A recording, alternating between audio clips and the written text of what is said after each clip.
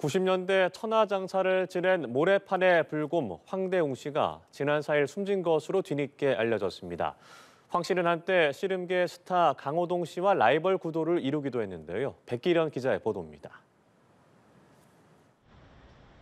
모래판의 불곰 황대웅 씨가 인천의 한 재활병원 옥상에서 추락해 숨진 것으로 뒤늦게 알려졌습니다. 인천 계양경찰서에 따르면 황 씨는 지난 4일 오후 2시 30분쯤 입원해 있던 한 재활병원 건물 11층 옥상에서 추락했습니다. 구급대가 황 씨를 병원으로 옮겼지만 끝내 숨을 거뒀습니다. 황 씨는 뇌경색 등으로 재활병원에 입원한 상태였습니다. 옥상 난간에 매달려 있던 황 씨를 간병인이 발견하고 붙잡으려 했지만 추락을 막지는 못한 것으로 전해집니다. 유족의 뜻으로 빈소는 마련되지 않았습니다.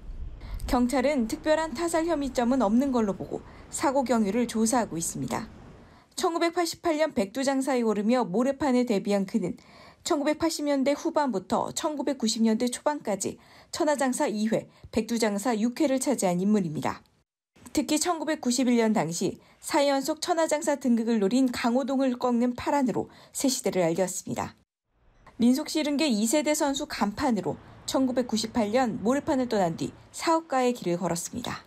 연합뉴스TV 백기련입니다.